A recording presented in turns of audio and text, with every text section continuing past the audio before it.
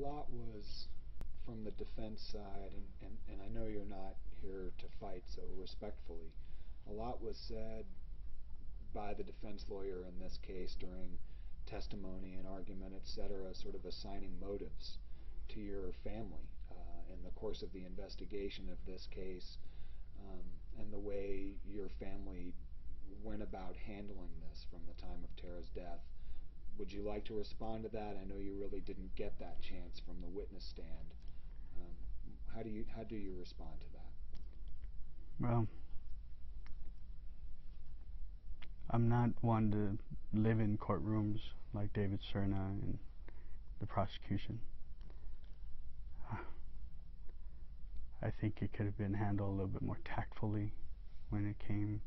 It was like sitting through um, the death of our daughter for the second time, disgracing her on the way defense handled a lot of the issues that could have been left out.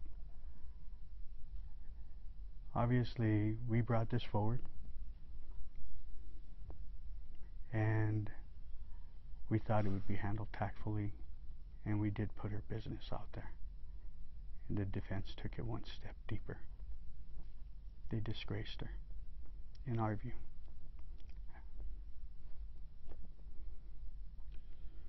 If you don't mind, um, and again, if this isn't a question you're comfortable answering, that's okay. What do you believe happened to Tera? I believe Tera was murdered.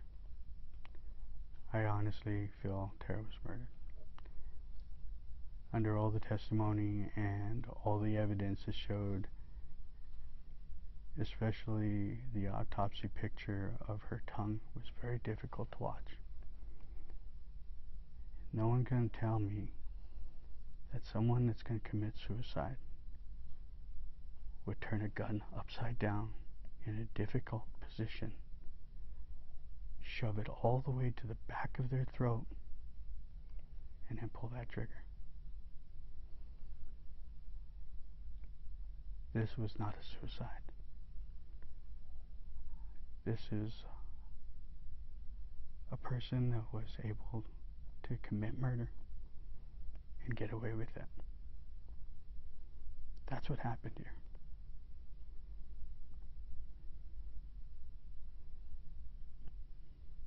How difficult was it to listen to the OMI testify about her last moments? It was very difficult. Um, we'd gone through uh, and known most of the detail, but we didn't know that she had taken two last breaths, and that was very difficult. First time we heard that. No one ever shared that with us. That was very difficult. You had mentioned um, wanting sort of the judicial powers that be to go back and review the transcripts from some of those bench conferences. Do you mind elaborating on that a little bit? Is there any more that you can um, tell us about why you'd like to see that happen? Well, I think that uh, to answer your question, Jeff, I think that once you read the transcript and you were able to uh, see for yourself, you be the judge. You be the judge. That's all I can say to that. Uh, no more comment.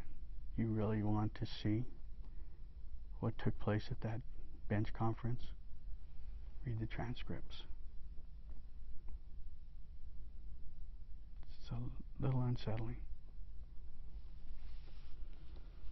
What's next for your family? I understand you're going to evaluate in terms of the, the civil case that's pending, but sort of beyond that, how do you um, go forward as a family and continue to honor your daughter's memory?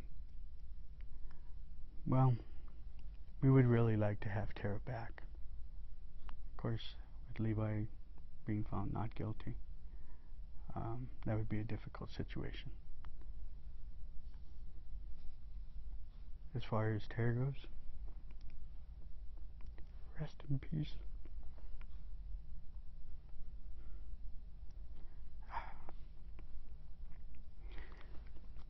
Unfortunately, over the five and a half years that we've been dealing with this, you grow callous. Life goes on. I will soon go back to work. Uh, my sons, I've shielded them throughout this whole process throughout the years. I gave it. I gave them very limited information because they have young families. Teresa and I have uh, taken the brunt of most of this, and Teresa will go back to teaching her physical fitness classes, and I get to go back into the public and work with Sandia National Labs. Have a lot of support there, good people to work with. So that's how we're going to carry on. Life goes on. One more thing, if I can ask about the trial. What was the most difficult you had to sit through?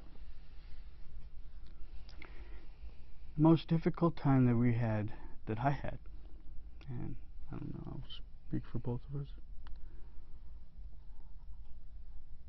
The jury wasn't in the room at the time, and there was a motion that was being heard. And Mrs. Serna degraded Tera when he was talking about videotapes and the pictures that were coming that were not going to be allowed as he was trying to get them allowed into evidence. Did Tera love Levi? Most definitely. She loved him. And they were a young couple. And the technology today, obviously, with those pictures and the videos, they were having fun. He made it dirty. There's no reason for that. That was difficult. As a father, very difficult. Do you do? You sit there. You brought this forward. You sit there and you take it. And that's what we did. We never had an outburst. We sat there and took it. That's what you do. For me, it was especially difficult to listen to her journal entries. Those were heartbreaking. Very heartbreaking. In 2004, she definitely had a very hard time. I found that um, she did a turnaround in 2007. In June, July, she finally was fed up with that life. Her last statement says it all Mhm. happiness. Her and I would have had a great business together. Of course, she laughed at me when I said I'd be her silent partner. There's nothing silent about me, I guess. but uh, just so that people know, the name of her business would have been called Pink. And I think the Pink Salon would have been a great asset for the community. It would have been a great place to go to. So, those of you that carry journals and write journals, express yourself. That's what she was doing. She was expressing herself. She was venting.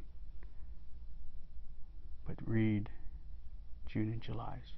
She was done.